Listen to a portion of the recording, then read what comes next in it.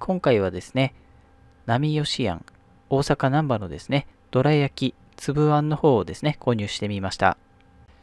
以前の動画で生どら焼きですね、食べたんですけれども、こちらの生どら焼きの中に入っていたあんこがですね、すごく、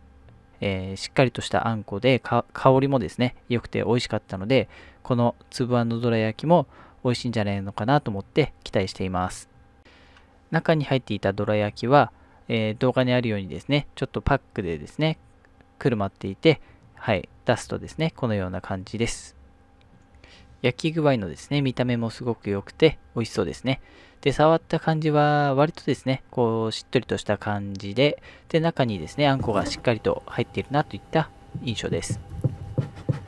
カットしてみるとですね、このような感じであんこが中にしっかりと入っていて、結構ですね、色が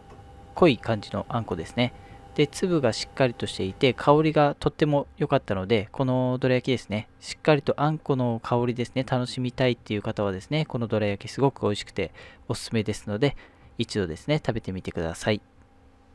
私はですね、このどら焼きとっても気に入りました。